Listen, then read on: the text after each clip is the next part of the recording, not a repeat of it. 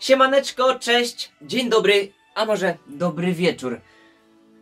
Być może zastosowałeś już rady z odcinku 16 i poświęciłeś 5 minut na funkcję Style Assembly, czy też style Assembly. Poskładałeś swój własny styl z klocków, które były użyte w stylach fabrycznych, czy też w innych stylach. I być może właśnie natrafiłeś na ten problem. No właśnie, na jaki problem? Może zauważyłeś, że nie zawsze zgadza się głośność tych ścieżek, które skopiowałeś? Albo brzmią one trochę inaczej niż brzmiały w stylu, z którego je wyciągałeś? Może jakiś dziwny pogłos się pojawił? No właśnie, musisz wiedzieć, że Style Assembly to niestety nie wszystko. Potrzebujesz poznać jeszcze dwie podstawowe umiejętności przy tworzeniu własnych stylów w oparciu o funkcję Style Assembly. Dlatego ten odcinek jest kontynuacją odcinka numer 16. Więc witam Cię w 17 odcinku, w którym porozmawiamy sobie o podstawowych funkcjach Style Kreatora, czy też kreatora stylu. E, będzie również odcinek 18, bo trzecia funkcja, jaką potrzebujesz poznać, to podstawowa obsługa miksera. Ustawienie głośności ścieżek, panoramowanie, efekty i kilka innych podstawowych czynności. Więc witam Cię w kolejnym odcinku serii Yamaha bez tajemnic. Ja nazywam się Strużycki Jerzy. Będzie mega wartościowy, krótki odcinek o podstawowych funkcjach style kreatora. Bo jak wiecie, moje stanowisko o tworzeniu profesjonalnych stylów na keyboardzie od zera znacie. A jeśli nie, to po prostu się nie opłaca. I z zaawansowanych funkcji style kreatora po prostu sam nie korzystam. Ba! Nie wszystkie znam, więc powiem wam te, które przydadzą wam się na 100%. Ale zanim to nastąpi, dajcie mi 3 minuty, ja muszę powycierać swój instrument, bo ostatnio go mocno popalcowałem. Wiecie, że długie ostatnio sporo coverów na kanał, staram się to wszystko jakoś rozbujać i trochę się pobrudził. Zaczynamy!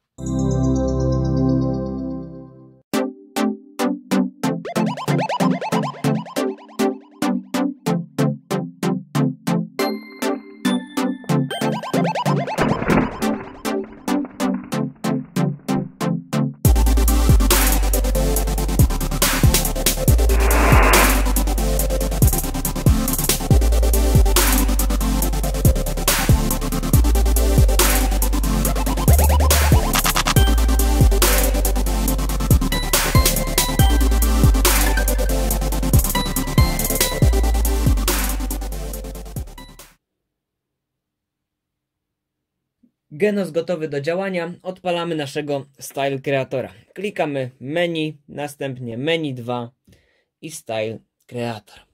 I dzisiaj troszeczkę poopowiadam Wam o konstrukcji, budowie tego właśnie urządzenia.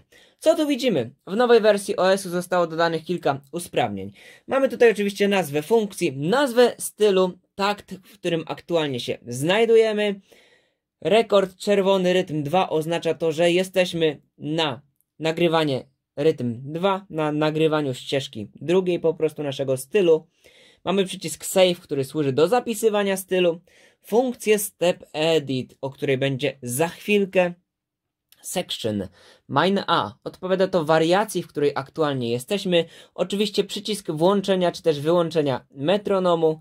Pattern Length, o tym było już w filmie poprzednim, natomiast przypomnę, jest to informacja, ile taktów zawiera wasza wariacja Mine A.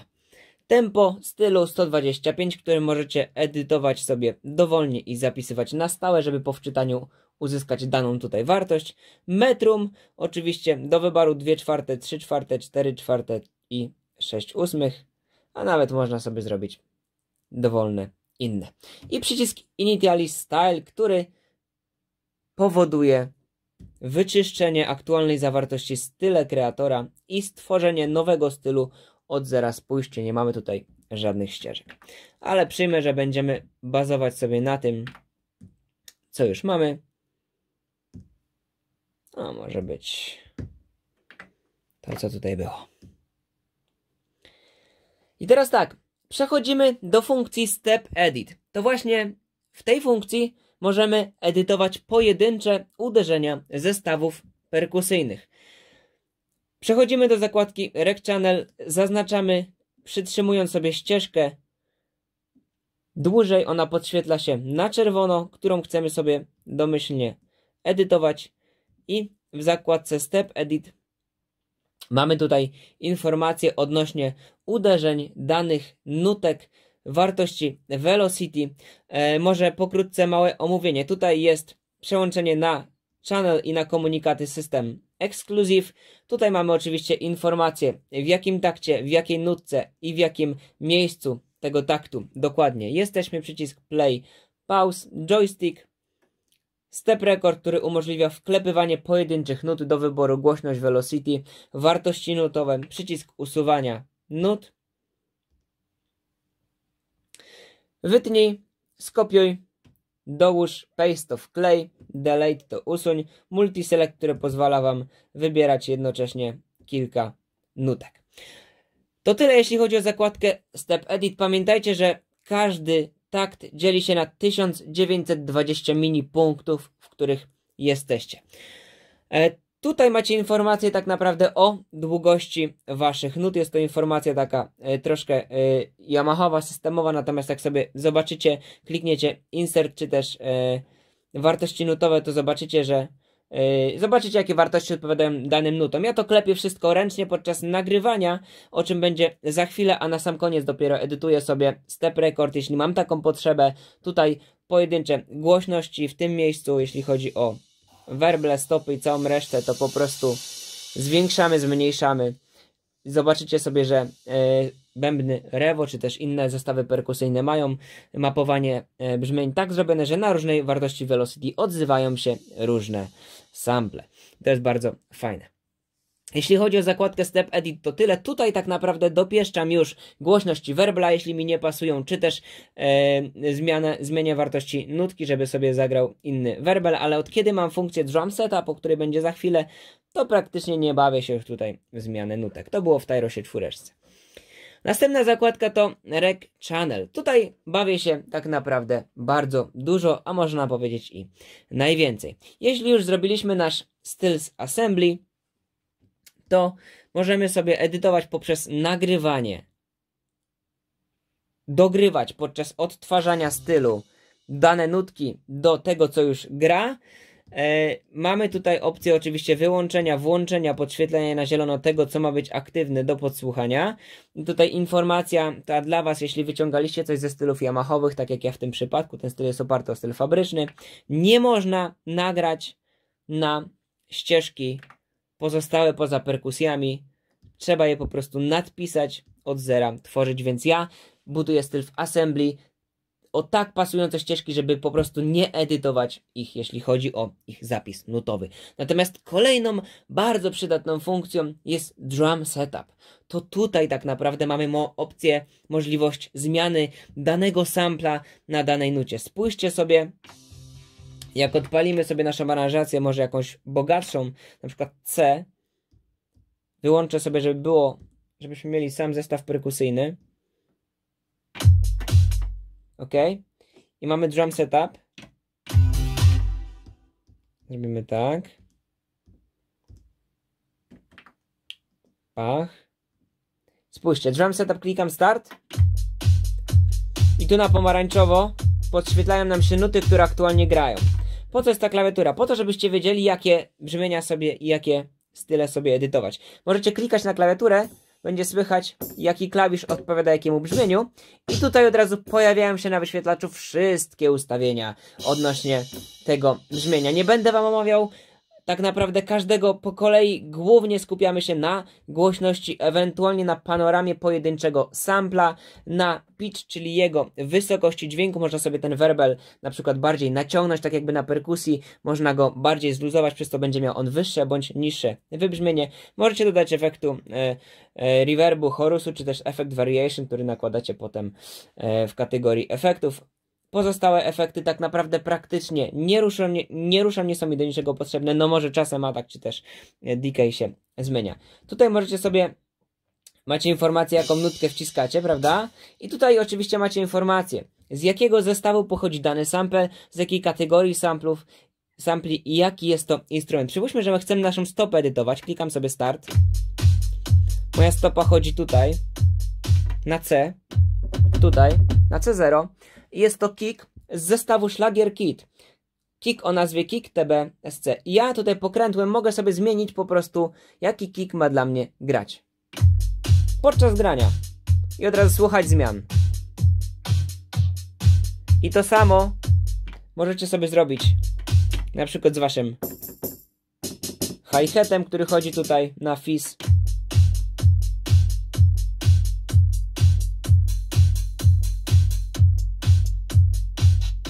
Możecie dodać sobie pogłosu, czy też po prostu go ściszyć, jeśli chodzi za głośno. Nie musicie bawić się tak naprawdę za dużo w step edit, tam nie musicie zmieniać velocity, możecie ściszyć sobie cały sample. Tutaj e, tylko informacja taka, że zabawa w drum setup powoduje zmianę automatycznie na każdej wariacji, na A, B, C, D. Nie można zrobić innego drum setup dla każdej wariacji. Robimy drum setup, czyli taki customowy zestaw perkusyjny dla całego stylu, dla każdej wariacji. To jest bardzo, bardzo ważne. E, tak naprawdę, jeśli chodzi o drum setup, to tyle. Tutaj po prostu wyciągamy sobie werbelek z innego zestawu, stopę z innego zestawu. Nie jesteśmy ograniczeni tak jak w starszych instrumentach, że byliśmy tylko ograniczeni na ilość sampli, który zawierał dany zestaw perkusyjny. Tutaj możemy zrobić do jednego stylu tak naprawdę miks zestawów perkusyjnych, wszystkich, które mamy wbudowane w instrument. Tutaj możemy kliknąć Clean, Clear Drum Instrument e, i to jest bardzo fajna funkcja, na przykład jeśli chcecie usunąć sobie werbelek sam, wystarczy, że klikniecie dany klawisz i ten przycisk, e, ten e, sample Wam się po prostu usunie. Nawet nie trzeba klikać start, wystarczy odpalić tą funkcję i kliknąć sample, stopę, C, verbal i po kliknięciu play na przykład usunąłem sobie stopę. Nie widzieliście tego na klawiaturze, ale wystarczy kliknąć po prostu dany dźwięk odpowiedzialny za stopę, jak się kliknie ten komunikat. I to się automatycznie w tym wypadku wymazuje. Funkcję assembly tak naprawdę poznaliśmy już w tamtym e, filmie. O tym nie będę się tutaj za bardzo opowiadał. Następna funkcja, która przydaje się, to jest channel edit. Co tutaj mamy? Mamy target channel, czyli tak naprawdę e, docelowy, e, docelowy channel, który chcemy sobie edytować. I teraz tak, jedyną funkcją, jaką z tego tak naprawdę używam, to są, no może dwie. To jest kwantyzacja.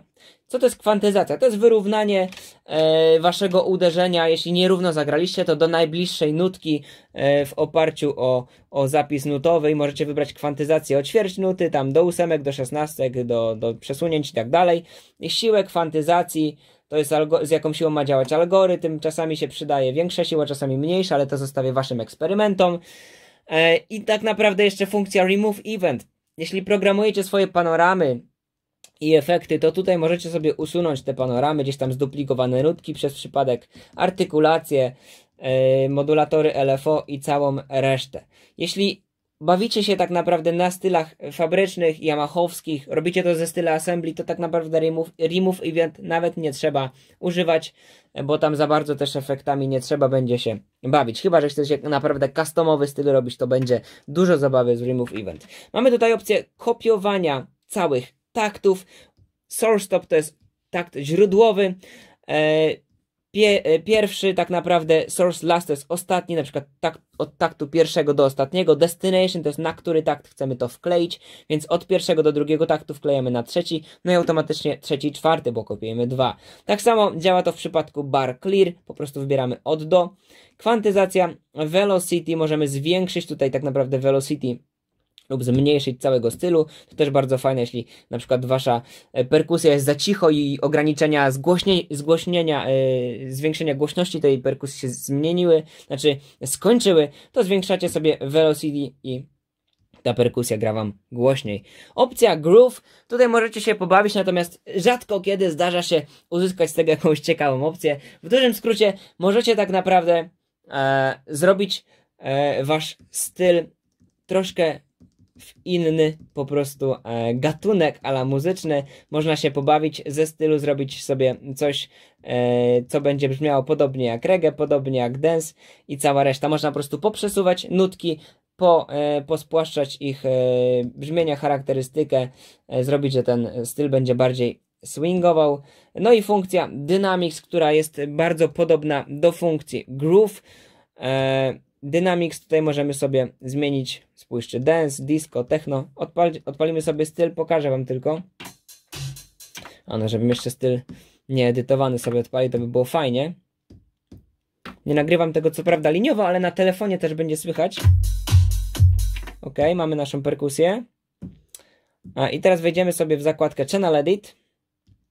Wejdziemy w groove. Prawda? Już jest inny styl.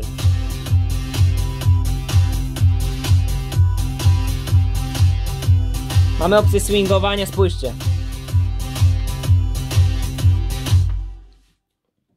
Wszystko z taką, z taką synkopą się dzieje, z przesłonięciem delikatnym, czasowym. Właśnie taki, to się nazywa taki muzyczny groove, takie, e, no po prostu płynięcie tej muzyki. Nie idzie wszystko tak liniowo, że ćwierćniutka, ćwierćniutka, ćwierćniutka, tylko wartości nutowe są zmieniane, dodawane, edytowane. Najlepiej to po prostu posłuchać, pobawić się, e, mówię, zepsuć się, niczego nie da, jeśli sobie stylu nie nadpiszecie. I tutaj opcja Dynamics.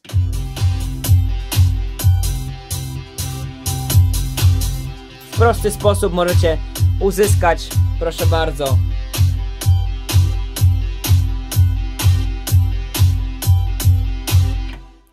W prosty sposób możecie sobie uzyskać jakieś tam inne brzmienia, inne e, bicia perkusji i tak naprawdę możecie zrobić to dla każdej ścieżki. Dodatkowo funkcję Dynamics możecie zaaplikować do wszystkich kanałów, żeby cały styl ustawił się w jedną tam daną funkcję, jaką wybierzecie, nawet jak rumba, latynoskie, samba, tango, bossa reggae. Te po prostu zapisy nutowe. Już są, to już są algorytmy producenta, za bardzo nawet nie wiem jak wam to wytłumaczyć. Pobawcie się tym sami. Naprawdę ciekawe efekty można uzyskać. E, z drugiej strony ja z tego też za bardzo nie korzystałem. Chyba do densowych klimatów przydałoby się to najbardziej. Nie trzeba wtedy za bardzo przeprowadzać zmian w Step Edit. E, kolejna zakładka tak naprawdę mnie nie interesowała nigdy. Interesowała mnie tylko wtedy, gdy nagrywałem styl od zera.